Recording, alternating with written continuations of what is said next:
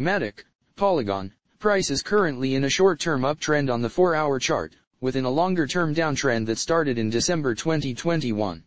The Ethereum scaling token is trading close to the weekly low and a key trend line at $0.8708. Matic price has found temporary support at the trend line, formed a bullish engulfing candlestick, and looks likely to rally higher from here.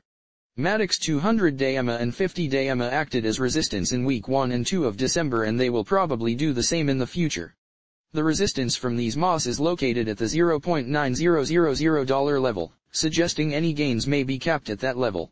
In the event that Matic price plummets below the trend line and the weekly low at $0.8708, the Layer 2 Solutions token could extend its losses further, as it will suggest the short-term trend has flipped bearish. This is possible, given the longer-term trend remains bearish.